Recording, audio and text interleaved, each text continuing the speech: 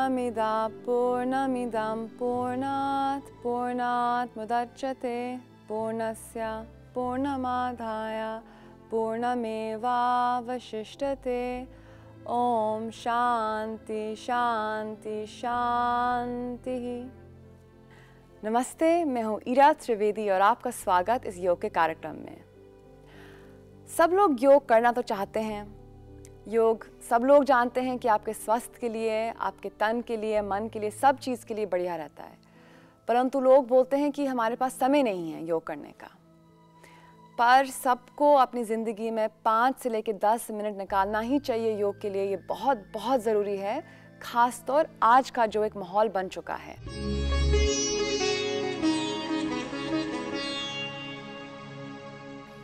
इतना प्रदूषण है आजकल का खान पान भी बुरा है, इतने प्रोसेस्ड खाना खाने हैं सब लोग।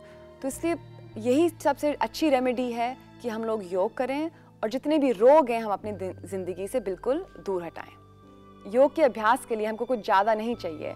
बस एक मैट की ज़रूरत होती है, इतनी सी जगह की ज़रूरत होती है और सबसे ज़रूरी एक विल पावर की ज़रूरत होती है।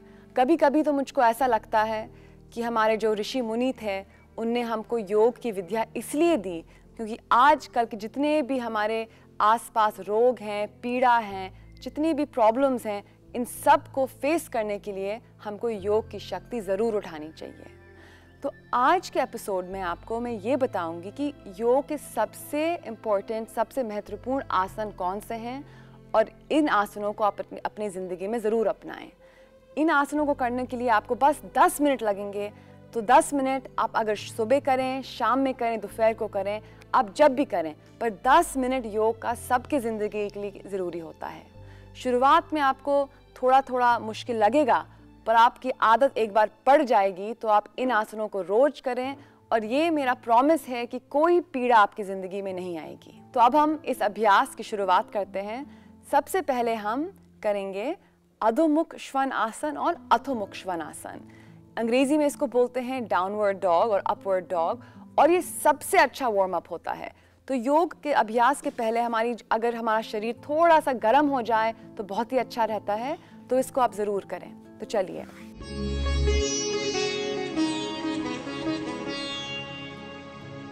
चलिए, शुरुआत करेंगे अधोमुख श्वनासन और अथोमुख श्वनासन से।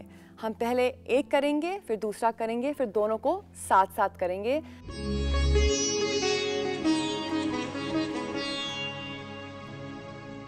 इसको अगर हमने एक डायनामिक तरीके से किया तो ये बहुत ही सुंदर वार्म अप हो जाता है। तो आप आराम से अपने मैट पे आ जाइए। दोनों हाथ आपके सामने हों, घुटने आपके एक आराम से स्थिर तरीके से ज़मीन पे जमे रहें।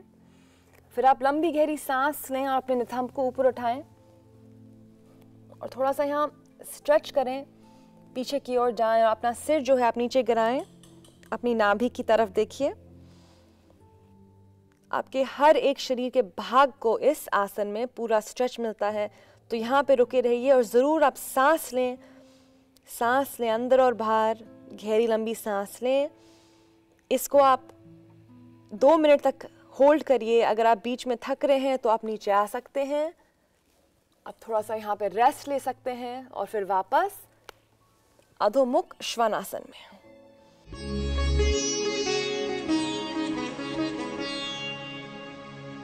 फिर यहीं से हम जाएँगे अथोमुख श्वनासन में तो बिल्कुल नीचे आ जाइए। निथम को नीचे पैर की अंगूठियों को आप मैट की तरफ़ रखें। हाथ आपके बिल्कुल सीधे कोनिया सीधी और ठुड्डी आसमान की ओर। और, और यहाँ पे गहरी लंबी सांस लें। आप ऊपर भी आ सकते हैं अपने पैर के अंगूठे पे। ये थोड़ा सा और ज़्यादा चैलेंजिंग है।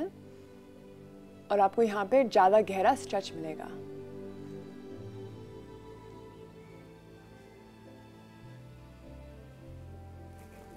आप इन दोनों आसनों को एक साथ भी कर सकते हैं तो हम वापस आ गए अथोमुख श्वनासन में और हम यहाँ से सीधा आ सकते हैं अथोमुख श्वनासन में। तो इसको हम एक डायनामिक तरीके से भी कर सकते हैं।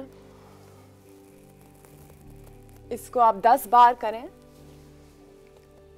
तो आपका पूरा शरीर इसमें लचीला बन जाएगा।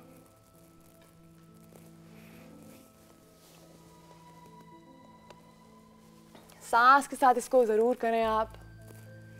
सांस के बिना योग नहीं होता है योग। तो सांस लेके ऊपर, सांस छोड़ते हुए यहाँ पे। सांस लेते हुए अधोमुख श्वनासन, यहाँ पे ये कोशिश करिए कि आपकी जो एड़ियाँ हैं वो पूरी ज़मीन की ओर जा रही हैं। फिर अधोमुख श्वनासन और फिर अधोमुख श्वनासन में आ जाएँ। यहाँ पे 10 सेकंड के लिए रुकें, गहरी लंबी सांस और वापस आ जाए वज्रासन में। और वज्रासन में थोड़ा सा रिलैक्स करें।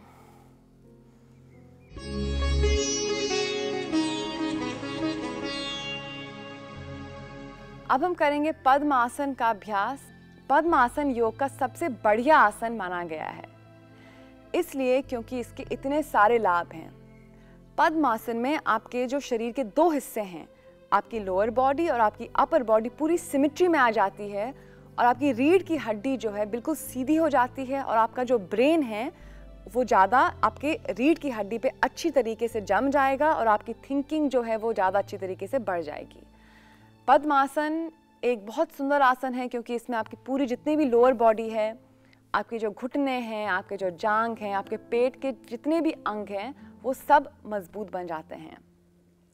योग का सबसे बड़ा पर्पस यही है कि आपके शरीर को तैयार कर देगी मेडिटेशन या ध्यान के लिए। और पद्मासन ध्यान के लिए सबसे बढ़िया आसन है, क्योंकि आपकी जो रीढ़ की हड्डी है, बिल्कुल सीधी हो जाती है। और जब रीढ़ की हड्डी बिल्कुल सीधी हो जाती है तो आपकी ज़िंदगी में कोई रोग नहीं आएगा। खास तौर जो आपके शरीर के रोग होते हैं, वो तो बिल्कुल होंगे ही नहीं आपको। तो चलिए इसका हम अभ्यास करेंगे। अगर आपको कोई बहुत बड़ी पीड़ा है अपने घुटने में, आपकी जांगों में तो आप इसको नहीं करें। आप अर्ध पद्मासन का अभ्यास कर सकते हैं, मैं आज आपको वो भी बताऊँगी।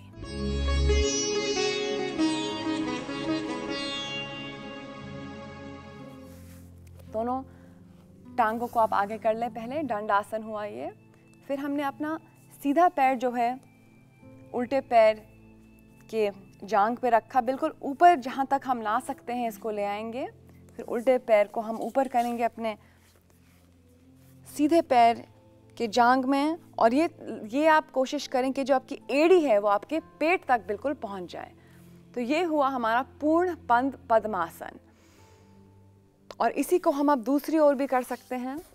तो अब पहले हमने अपना सीधा पैर ऊपर रखा, अब हम अपने उल्टे पैर को ऊपर रखेंगे। पहले फिर अपने उल्टे पैर के ऊपर से हम अपना सीधा पैर ले जाएँगे। तो ये हुआ पद्मासन दूसरी ओर। किन्हीं लोगों के लिए एक साइड कंफर्टेबल रहता है, दूसरे लोगों के लिए दूसरा साइड कंफर्टेबल रहता है। तो अब ये कोशिश करिए कि आपका जो साइड आपको जहाँ अनकंफर्टेबल लग रहा है, वहाँ आप ज़्यादा होल्ड करे रहें। तो ये हुआ पद्मासन। आप जितना लंबा पद्मासन का अभ्यास करेंगे, उतने ही आप कंफर्टेबल हो जाएँगे और उतने ही लंबे समय के लिए आप इसको लगा पाएँगे। शुरुआत में मुश्किल होती है, पर बहुत जल्दी आप इसको, इसमें समय बढ़ाएँगे। और फिर आपका ऐसा हो जाएगा हाल कि आप इसको बस लगाए रखेंगे और आपको कुछ समझ में नहीं आएगा कि कहाँ समय बीत रहा है। आपको लगेगा कि आप सुख आसन में बैठे हुए हैं। अगर आप पद्मासन नहीं कर सकते हैं क्योंकि आपके घुटने जो है बहुत स्टिफ हैं, आपके हिप्स जो हैं स्टिफ हैं, हम अर्ध पद्मासन का अभ्यास करेंगे।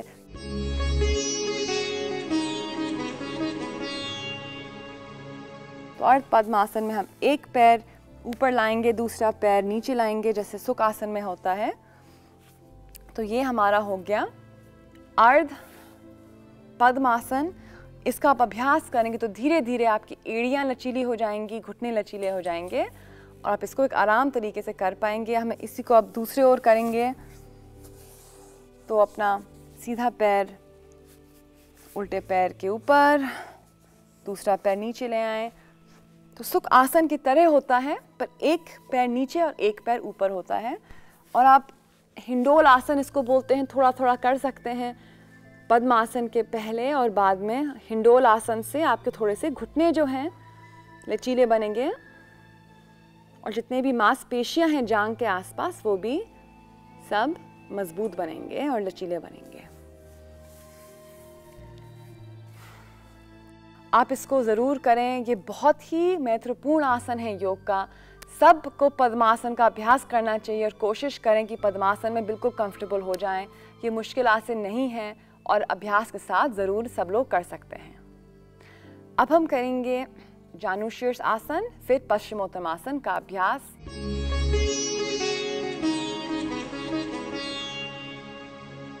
फॉरवर्ड बेंडिंग जो है बहुत अच्छी है। इस आसन को हम लोग योग के बिल्कुल जो टॉप थ्री आसन में से मानते हैं, क्योंकि इसके इतने सारे लाभ हैं। जब हम एक फॉरवर्ड बेंडिंग करते हैं तो हमारे जितने भी पेट के जो अंग हैं स्टमक के जो ऑर्गन्स हैं, वो सब मज़बूत हो जाती है, उनकी फंक्शनिंग बढ़ जाती है। योग हमारे फ़िज़िकल बॉडी के लिए तो बहुत अच्छा होता ही है, पर इसकी खास बात ये होती है कि जो हमारी इंटरनल बॉडी होती है, जितने भी हमारे ऑर्गन्स होते हैं, हमारा हार्मोनल सिस्टम होता है हमारा रेस्पिरेटरी सिस्टम होता है, इन सबको ये मज़बूत करता है।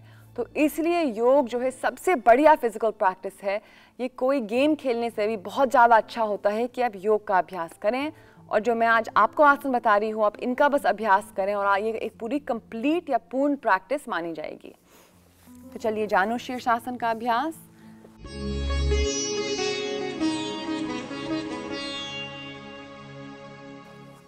अब पहले दंड आसन में बैठ जाएँ, ये होता है दंड आसन आपके हाथ घुटने पे। फिर आप अपना सीधा पैर जो है, उल्टे पैर के ऊपर लगा सकते हैं, या आप साइड में भी रख सकते हैं। तो एक हुआ पद्मासन की तरह और एक हुआ पद्मासन के बिना। और फिर यहाँ से आप पूरे अपने हाथ ऊपर खींच लीजिए। लंबी गहरी सांस लें और आप नीचे तक आ जाएँ। और यहाँ पे आप कंफर्टेबल हो जाएँ, आप अपने माथा अभी कोशिश नहीं करें कि नीचे ले आएँ, अभी तो आप यहीं पे ही कंफर्टेबल हो जाएँ। अपने पैर की आप एक अंगूठी पकड़ सकते हैं या एड़ी पकड़ सकते हैं। आप अगर सामने तक नहीं आ रहे हैं तो आप अपने घुटने का भी पकड़ सकते हैं, कोई प्रॉब्लम नहीं होती है। जांग के पास भी आ सकते हैं, जहाँ भी आप कंफर्टेबल हैं, जानू शीर्ष आसन में। तो यहाँ लंबी गहरी सांस लें। रीढ़ की हड्डी बिल्कुल सीधी होनी चाहिए। आराम से आप नीचे तक आ जाएँ। और यहाँ पे लंबी गहरी सांस।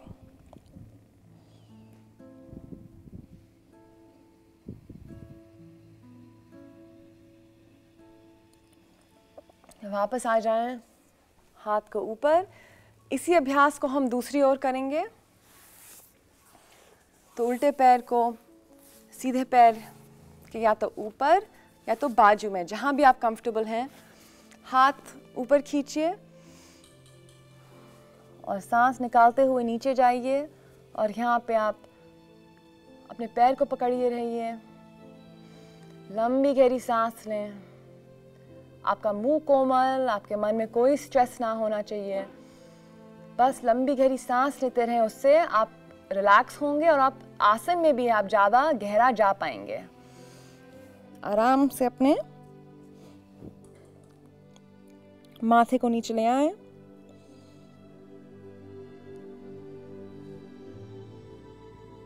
फिर आराम से वापस आ जाएँ।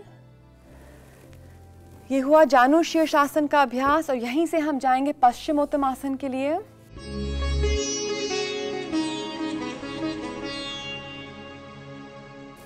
तो पैर दोनों दंड आसन में हाथ को ऊपर खींचे। सांस लें और सांस छोड़ते हुए नीचे आ जाएँ और बस आप इतना करें, ये काफ़ी होता है। बस बिल्कुल ऊपर। अगर आप नीचे जाने की कोशिश करते हैं तो काफ़ी यहाँ ये मुश्किल रहता है लोगों के लिए। उनको पीठ में भी प्रॉब्लम हो सकती है तो इतना ही काफ़ी होता है पश्चिमोत्तरासन में। अगर आपको ये मुश्किल लग रहा है तो आप अपने घुटने भी यहाँ मोड़ सकते हैं और आप नीचे जा सकते हैं और अपने माथे घुटने घुटने के पास लगाएँ। ये भी एक बहुत अच्छा प्रैक्टिस है शुरुआत में। तो अब इसका अभ्यास करें।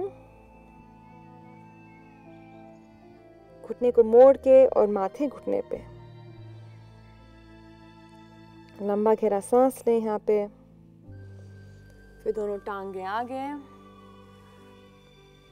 अपने दोनों आप अंगूठे को पकड़ लें और अपने शरीर को आप सामने खींचे। और यहाँ पे लंबी गहरी सांस लेते रहें। पश्चिमोत्तर आसन में आराम से वापस आ जाएँ।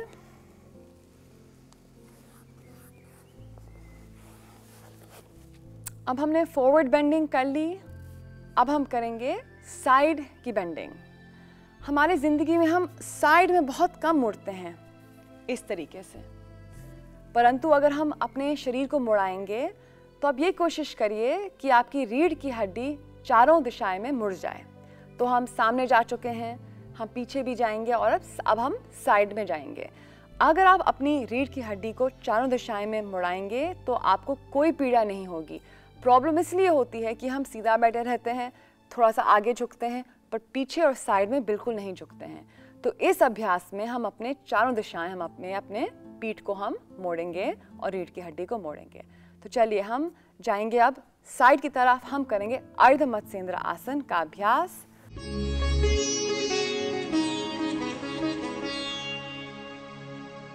दोनों पैरों को आप पहले आगे कर लें दंड आसन में।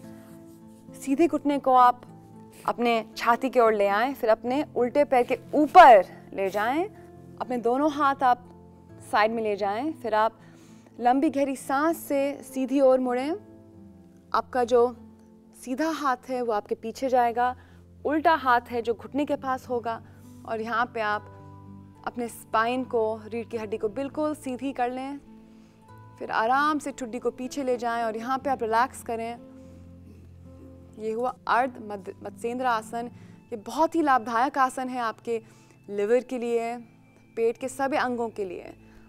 अगर आप का यहाँ बैलेंस बन जाता है तो आप अपना हाथ जो है जांगों को पीछे से ला सकते हैं, पीछे से बाँध सकते हैं और यहाँ पे थोड़ा सा और भी चैलेंजिंग हो जाएगा। यहाँ पे लंबी गहरी सांस लेते रहें। अर्ध मत्स्येंद्र आसन में इसी को हम दूसरी ओर करेंगे। तो वापस दंड आसन में, फिर उल्टे पैर को सीधे पैर के ऊपर, दोनों हाथ साइड में ले जाएँ, फिर आप उल्टी ओर आ जाएँ, अपना सीधा हाथ उल्टे घुटने के पास। आपका उल्टा हाथ आपके शरीर के पीछे और ठुड्डी को धीरे धीरे अपने कंधे के लाइन में कोशिश करिए कि आप ला रहे हैं। यहाँ पे गहरी लंबी सांस लें। ये हुआ अर्ध मत्स्येंद्र आसन। अपने दोनों हाथ आप नीचे से बाँध लें। और यहाँ पे सांस लेते रहिए। गहरी लंबी सांस। इसको ये कोशिश करिए कि 30 सेकंड आप करें हर एक साइड में। तो कुल मिला के हुआ एक मिनट का अभ्यास अर्ध मत्स्येंद्र आसन में। आराम से वापस आ जाइए। छाती को आप घुटने से लगाएँ। यहाँ पे गहरी लंबी सांस लें और अब वापस आ जाएँ। तो ये हुआ हमारा अर्ध मत्स्येंद्र आसन चलिए अब हम करेंगे भुजंग आसन का अभ्यास। हम अपनी रीढ़ की हड्डी को पीछे ले जाएँगे। ये सबसे महत्वपूर्ण आसन है पीठ की पीड़ा के लिए। तो आपको अगर पीठ में कोई भी दर्द हो रहा है, आप भुजंग आसन का सहायता ले सकते हैं और समय के साथ आपके पीठ को बिल्कुल ठीक कर देगा, आपकी रीढ़ की हड्डी को बिल्कुल लचीला। तो पेट के बल नीचे लेट जाइए अपने मैट पे। ठुड्डी आगे हाथ साइड पे। फिर आराम से अपनी छाती को थोड़ा सा उठाइए और अपने दोनों हाथ जो है, आप अपने कंधों की लाइन में ले आए और यहाँ पे गहरी लंबी सांस लें आप फिर आराम से अपनी ठुड्डी को थोड़ा सा उठा सकते हैं, छाती को ऊपर, पेट को थोड़ा सा ऊपर और ठुड्डी को पीछे ले जाएँ।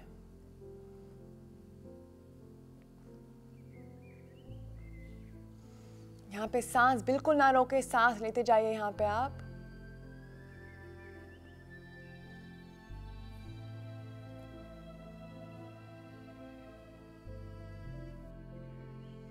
आराम से नीचे आ सकते हैं आप, यहाँ पे आप पाँच मिनट का रेस्ट लें और फिर वापस भुजंगासन में।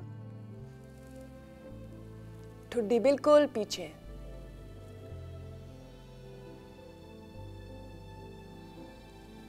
आराम से वापस आ जाएँ। यहाँ पे आप दो या तीन गहरी लंबी सांस लें और सांस के साथ अब आप आ जाइए वज्रासन में वापस।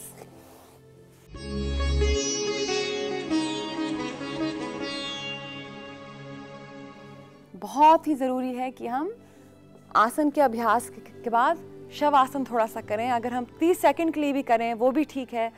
पर शव आसन का अभ्यास आखिरी में बहुत बहुत ज़रूरी होता है। तो शव आसन में आप आराम से लेट गए, थोड़े से आपने पैर फैलाएँ, दो से लेके तीन फीट।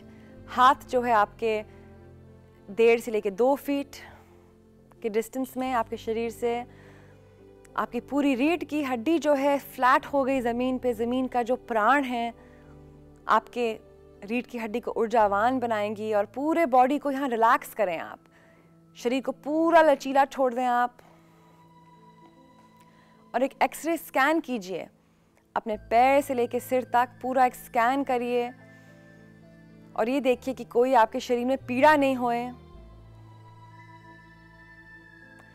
अपना दिमाग जो है, मन है, अपने पैर से लेके एड़ी, पैर के नीचे वाले हिस्से, घुटना, जांग शोणी पेट पीठ, रीढ़ की हड्डी, छाती, हाथ, हथेली, कोनी, कंधा, गर्दन और पूरा मुँह। हर एक अंग को, हर एक भाग को आप थोड़ा सा ध्यान दें और ये देखें कि कोई पीड़ा तो नहीं है और जहाँ पे आपको पीड़ा महसूस हो रही है, वहाँ पे आप गहरी लंबी सांस लें और उस पीड़ा के अंदर आप अपनी सांस ले जाएँ ऑक्सीजन के साथ। जो भी पीड़ा है वो जा सकती है।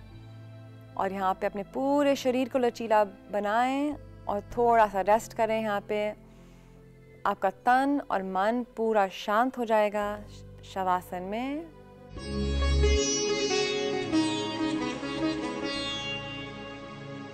तो ये हुआ एवरीडे योगा। इसी से मैं लूँगी आपसे आज्ञा। आपका बहुत बहुत धन्यवाद कि आज आपने मेरे साथ योग किया। अब हम मिलेंगे अगली बार एक नए विषय और नए अभ्यास के साथ।